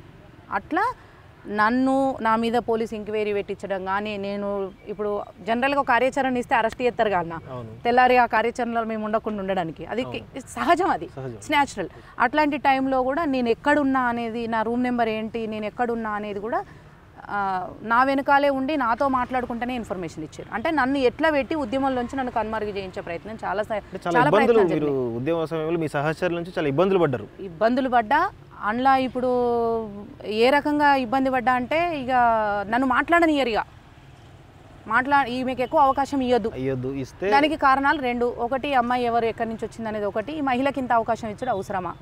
అనేటువంటివి అంతర్గతంగా చాలా ఎదుర్కొన్నాను. తెలంగాణ ఉద్యమంలో ఒక మహిళ అనే వివక్షను మీరు ఎదుర్కొన్నారు ఖచ్చితంగా ఎదుర్కొన్నా. అది జేఏసీలో ఎదుర్కొన్నా ఒక్కనొక టైంలో జేఏసీకి నాయకత్వం వహించాలి అధ్యక్షురాలు కావాలంటే బాలలక్ష్మి అని చెప్పి మన మందాల భాస్కర్ వీళ్ళందరూ కూడా ప్రపోజల్ పెట్టినప్పుడు కూడా ఇద్దరు ముగ్గురు నాయకులు నన్ను అబ్జర్వ్ వద్దని చెప్పేసి చెప్పినటువంటి సందర్భాలు ఉన్నాయి. అంటే ఒకవైపు మీరు ఇన్ని వివక్షలు ఎదుర్కొన్నప్పటికి కూడా మీరు ఇంకొక వైపు కొంతమంది సపోర్ట్ ఉందని చెప్పేసి ఉన్నారు. వాళ్ళ నుంచి ఎట్లా ఉండేది మీకు సపోర్ట్ సపోర్ట్ ఉండే. నా మిత్రుడు ఇప్పుడు మందాల భాస్కర్ కానీ ప్రారంభంలో కొంచెము పిడమర్తి రవణ కానీ ఎర్రల సీనన్న కానీ మన వీళ్ళందరూ ఎవరు గ్యాదర్ కిషోర్. వీళ్ళంతా కూడా నాకు సపోర్టింగ్గా నిలబడ్డారు అన్న వీళ్ళు చాలా సపోర్టింగ్గా నిలబడ్డారు. నిలబడే క్రమంలో ఒకటే అన్నారు. లైట్ తీసుకోరా.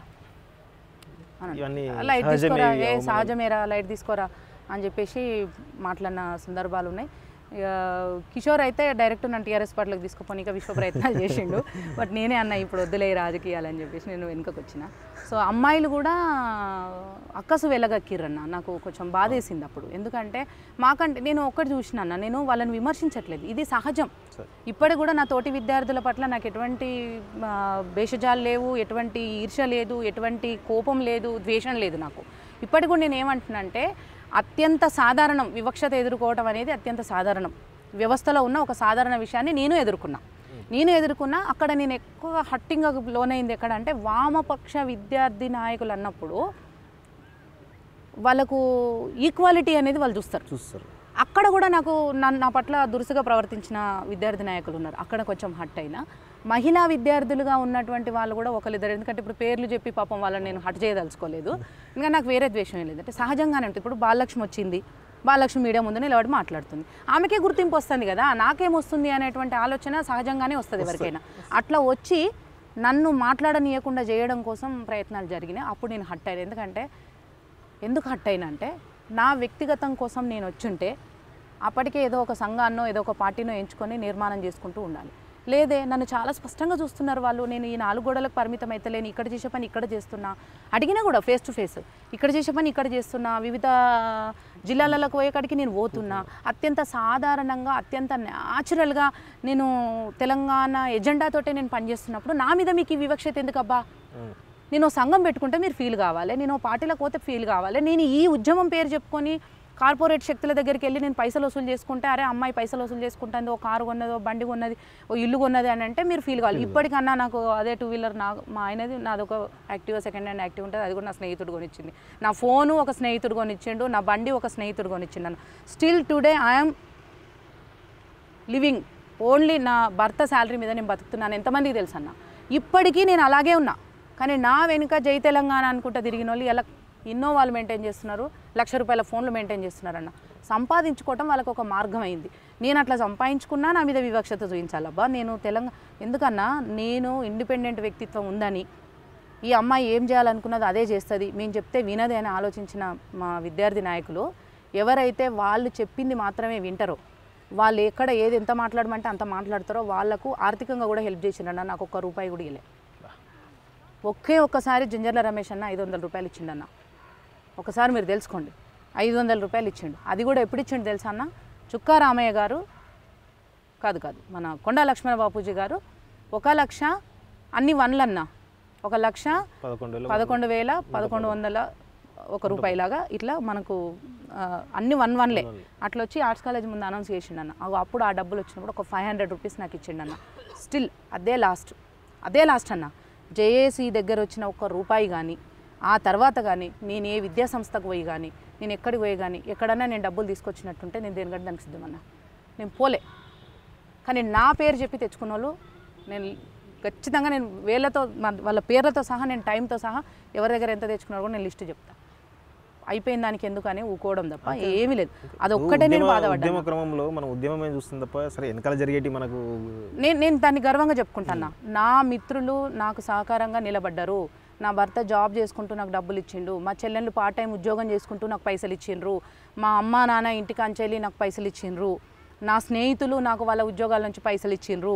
అట్లా ఆ పైసలు అన్న ఒక టైం వచ్చినప్పుడు ఎల్ఎల్ఎంకి నేను ఫీజు కట్టనిక డబ్బులు లేకపోతే నా స్నేహితురాలు శృతి అని ఉంటుంది అమ్మాయి ఆ అమ్మాయికి నా కమ్మలు ఇచ్చి మా అమ్మ వాళ్ళు కొనిచ్చిన రెండు వేల రూపాయలు మూడు వేల రూపాయలలో అప్పుడు చిన్న చిన్న గోల్డ్ కమ్మలు ఉంటాయి. ఆ కమ్మలు అమ్మి నేను ఫీజు కట్టుకున్నాను. తర్వాత పోయి మా నాన్నకు మా అమ్మకి చెప్పిన నేను.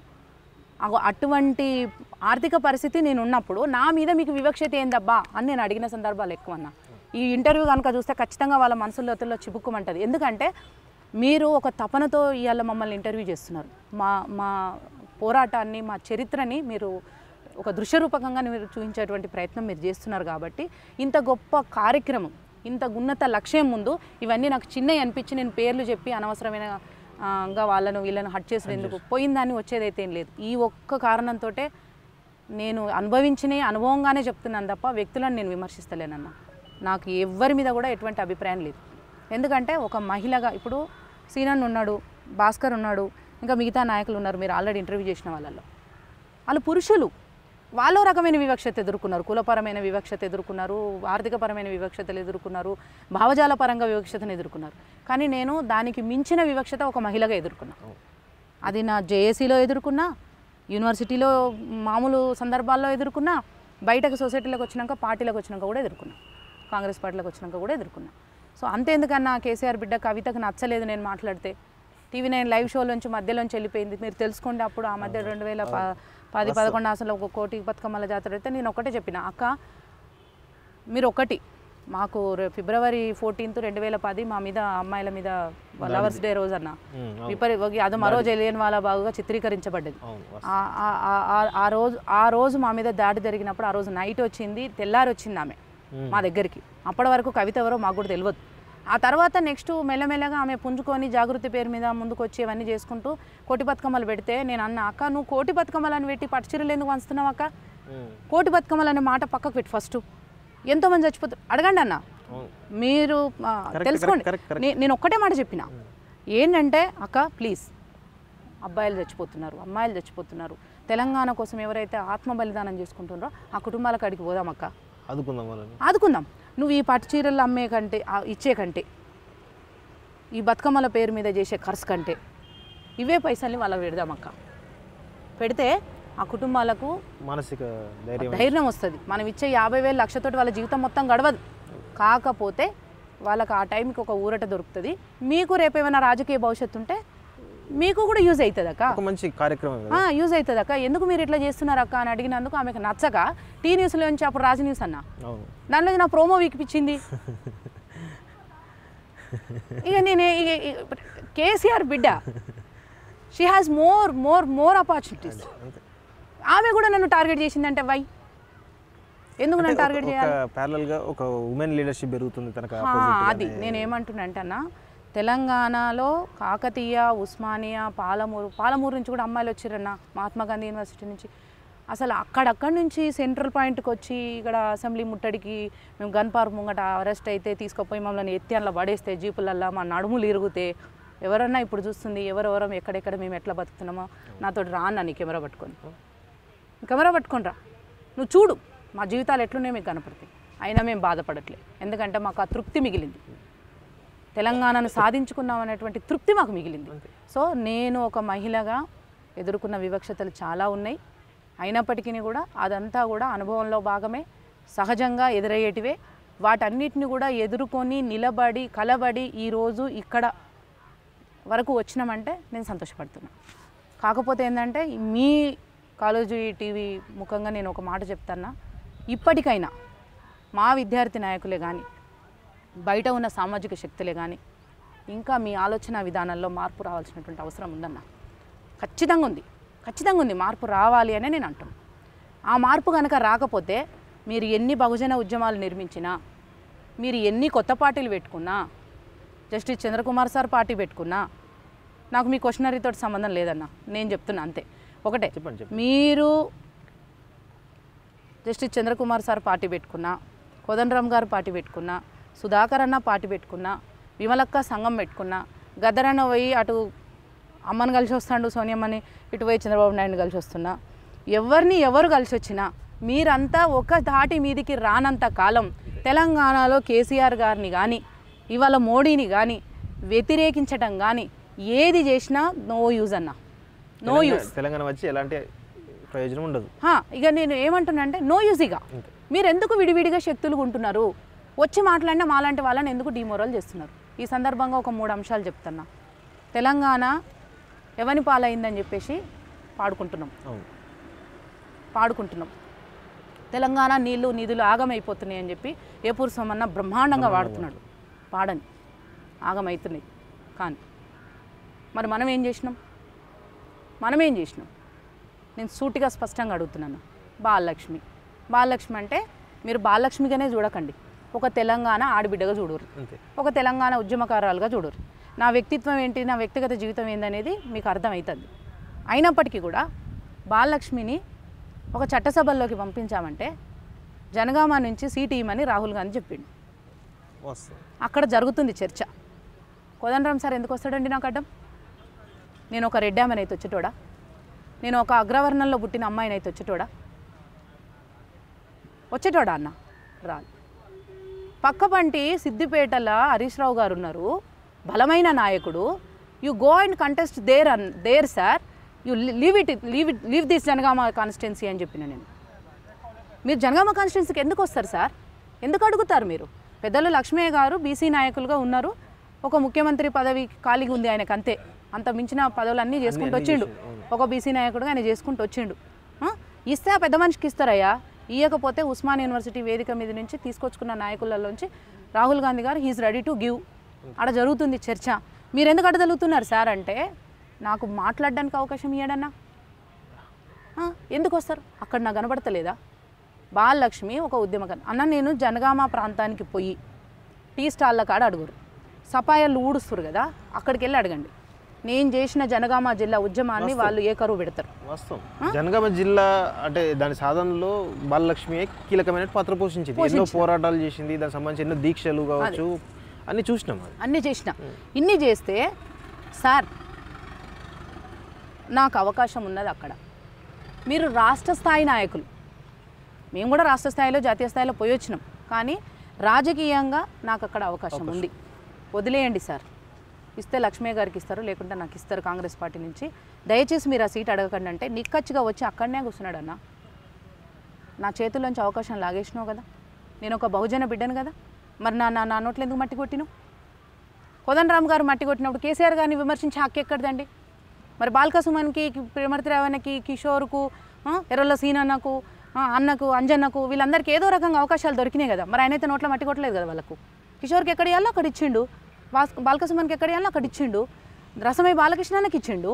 వాళ్ళంతా ఉద్యమకారులే కదా. మరి వాళ్ళు ఇచ్చినప్పుడు వీళ్ళు ఇచ్చేందుకు ముందుకు వస్తున్నప్పుడు స్థానిక నాయకత్వం ఎందుకు అడ్డు వచ్చింది? నేను నేను టీఆర్ఎస్ని సమర్థించి కాంగ్రెస్ని విమర్శించట్లేదండి ఇక్కడ. ఒక్కటే ఒకటి. నేను వేరియేషన్ చెప్తున్నా. ఇప్పుడు ఆయన నియంత పాలన చేస్తున్నాడు కేసీఆర్. ఆయన ఒక పందాలో వెళ్తున్నాడు. మనం విమర్శిస్తున్నాం. ఎవని పాలైంది ఎవని పాలైంది అంటున్నాడు. అది కూడా చెప్తాను నేను. కేసీఆర్ గురించి ఎవని పాలైంది అన్నప్పుడు మనం చెప్తా. ముందు మనం ఏం చేసినాము? బాలలక్ష్మికి సీట్ ఇచ్చేటప్పుడు నువ్వు ఎందుకు అడ్డు తగిలినవు? కోదన్ రామ్ గారు జనగామ సీట్ అడిగి ఉండకపోయి ఉంటే మాకెంతో కొంత ఒక అవకాశం దొరికి ఉంటే నేను ఇలా చట్టసభల్లోకి వచ్చేదాన్నే కదా? మా స్థానిక ఎమ్మెల్యే ముత్తిరెడ్డి గారిని అడగండి.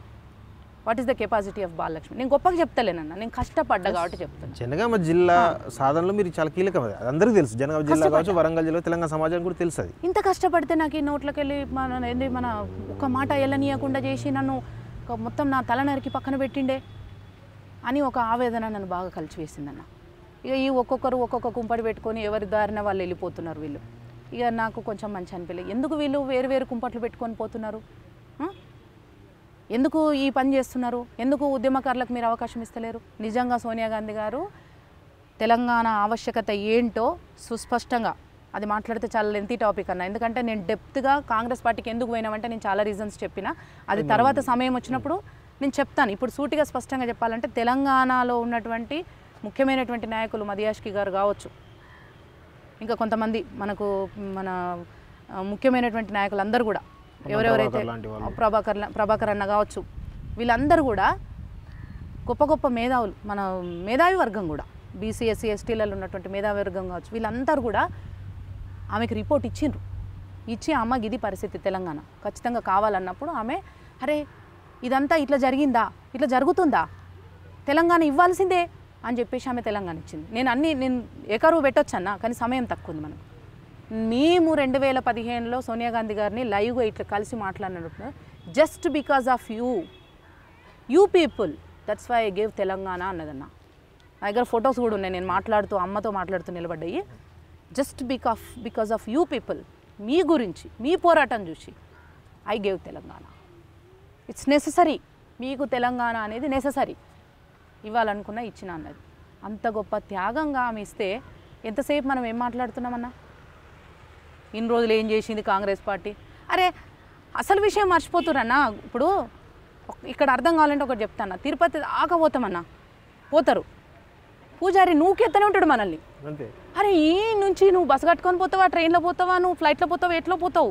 ఆడికి పోయి పోయిన ఒక్క నిమిషం కళ్ళు మూసుకొని దండం పెడతావు ఆ ఒక్క నిమిషం కళ్ళు మూసుకొని దండం పెట్టుకునేది కూడా పూజారి నీకు అవకాశం ఇవ్వకుండా తోచేస్తుంది అన్న ఈ ఒక్క సెకండ్ చాలని నీకు అర్థం కానిగా చెప్తున్నాను నేను వీళ్ళకి జనాలకు. సామాన్య ప్రజలకి అర్థం కావాలి కాలేజీ టీవీ నుంచిది. ఎంతసేపు సోనియా గాంధీ తెలంగాణ ఇవ్వడానికి ఇంత రోజులు టైం ఎందుకు పట్టిరు అంటున్నారు? కానీ సోనియా గాంధీ గారికి ఇటు తెలంగాణ ఉంది ఇటు సోనియా గాంధీ గారు ఉన్నారు. మధ్యలో అడ్డుగోడ ఏముంది అనేటువంటిది మీరు స్పష్టంగా ప్రజలకు అర్థమయ్యేటట్టు చెప్పిర్రా? చెప్పిర్రా? ఇప్పటికి కూడా అది చెప్తలేరు ఇవ్వాలి మా కాంగ్రెస్ నాయకులు కూడా అమ్మ ఇచ్చిన తెలంగాణని సమర్థవంతంగా జనంలోకి తీసుకుపోలేకపోయినారు ప్రతిపక్ష నాయకుల బలహీనత ప్రతిపక్ష నాయకుల అసమర్థత ఇలా కేసీఆర్ గారికి ఇంకొక గొప్ప అవకాశాన్ని ఇచ్చింది. మోడీకి ఇంకొక గొప్ప అవకాశాన్ని ఇచ్చింది. ఎస్ కేసీఆర్ గారు ఈజ్ ఏ సమర్థుడన్నా ఆయన ఒక రాజకీయ నాయకుడు. ఆయనే చెప్పిండు కదా ఓపెన్గా ఇది ఉద్యమ పార్టీ రాజకీయ పార్టీగా మేము మారుతున్నాం. ఆఫ్టర్ తెలంగాణ ఉద్యమంతో పని ఏంది అన్నాడు. హండ్రెడ్ పర్సెంట్ కరెక్ట్ కదన్నా ఎందుకు విమర్శిస్తున్నారు మీరు? పరిపాలనా విధానాన్ని విమర్శించండి. నేను కూడా విమర్శిస్తాను పరిపాలనా విధానం. ఒకటే మాట నాకు తెలంగాణ వచ్చింది భయ్యా నేను ఫక్త రాజకీయ పార్టీగా మారుతా అన్నాడు ఫక్త రాజకీయ నాయకుడిగా మారిండు. He is eligible and capable and అర్హుడు కూడా ఆయన. తెలంగాణను పరిపాలించడం. కానీ ఆయన చేసిన పొరపాట్లు ఏంటనంటే ఒకటే విద్యా వ్యవస్థని ఉద్యోగ వ్యవస్థని నిర్మించే క్రమంలో ఆంధ్ర పాలకుల వ్యవస్థల్లో మనకు భ్రష్టు పట్టిపోయినటువంటి వ్యవస్థని విద్యా ఉద్యోగ అవకాశాలకు సంబంధించిన వాటి మీద ఎక్కువ కాన్సన్ట్రేట్ చేయకపోవడం ఒక తప్పిదం అన్న నేను సద్విమర్శనే చేస్తున్నా. రెండోది ఎవరైతే తెలంగాణ వద్దన్నారో వాళ్ళని తీసుకొచ్చుకొని మంత్రివర్గంలో పెట్టుకున్నాడు. అది ఆయన చేసిన పెద్ద తప్పు. పెద్ద తప్పు. ఇప్పటికీ కూడా కేసీఆర్ గారు చేయవలసింది చాలా ఉంది ఇంకా తెలంగాణ సమాజానికి. ఎవన్ పాలైంది ఇప్పటికే ఏడు సంవత్సరాలు దాటింది. దాటింది, దాటి- ఇంకా చేయాలి. ఇంకా చేయాలంటే ఏడు సంవత్సరాలు ఏం చేయలేకపోయింది అనే భావన. ఉన్నది. ఇప్పుడు యాక్చువల్ ఏంటంటే నీళ్ళు నిధులు నియామకాలు అనేటువంటి ఒక ట్యాగ్ లైన్ మీద తెలంగాణ ఉద్యమం నిర్మించబడ్డది సాకారమైంది. సో కేసీఆర్ అనే వ్యక్తి దానికి భిన్నంగా పోతున్నాడని ఒక వాదన ఉన్నది. సో దాన్ని మీరు ఏ విధంగా మీ అభిప్రాయం చెప్తారు? నేను చెప్పగలుగుతాను ఇప్పుడు విశ్లేషించి నేను చెప్పగలుగుతాను ఒకటి ఏంటంటే ఫస్ట్ థింగ్ కేసీఆర్ గారు సక్సెస్ అవ్వడానికి ప్రధాన కారణం అన్న. బహుశా ఖచ్చితంగా ప్రతి రాజకీయ విశ్లేషణకి విశ్లేషకులకి అవగాహన ఉంటుంది ఇది. ప్రజలు సామాన్య ప్రజలే అత్యంత పెద్ద ఓటు బ్యాంక్ అన్న.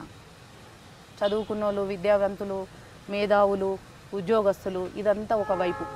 ఇన్ మై ఒపీనియన్ అయితే ఒక ఫార్టీ పర్సెంట్ అన్న. మిగతా sixty percent of the people only ground level people. వాళ్ళ అవసరాలు ఇప్పుడు నలభై శాతం వచ్చిన వాళ్ళకంటే అరవై శాతం వచ్చినోడే విన్నర్. అంతే కదా అంతే. సో ఆయన ఈ నలభై శాతాన్ని వదిలేసిండు అన్న ఈ అరవై శాతాన్ని పట్టుకున్నాడు. అరవై శాతం సామాన్య ప్రజలకున్న అవసరాలే వాళ్ళ మానసిక వాళ్ళ బలహీనతలు. వాళ్ళ అవసరాలే వాళ్ళ బలహీనతలు. పెన్షన్స్ కావచ్చు విత్తనాలు కావచ్చు ఇవాళ ఇస్తున్నటువంటి రైతు రైతు బంధు పథకం కావచ్చు ఇవన్నీ కూడా రేషన్ కావచ్చు.